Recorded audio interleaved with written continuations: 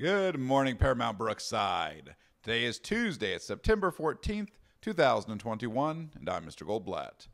Please rise for the Pledge of Allegiance.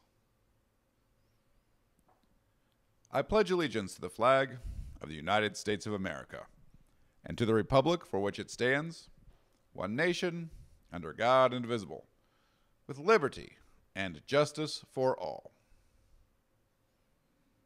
This week is an orange week. Lunch today is going to be a breaded chicken drumstick. We're going to be serving that up with some steamed sweet corn along with assorted fruit. A cold cut will be available as an alternative. Today's weather forecast calls for mostly sunny skies. Expect high temperatures to reach about 88 degrees. There's a slight chance of rain, but we think it should miss us today and we'll likely be having outdoor recess.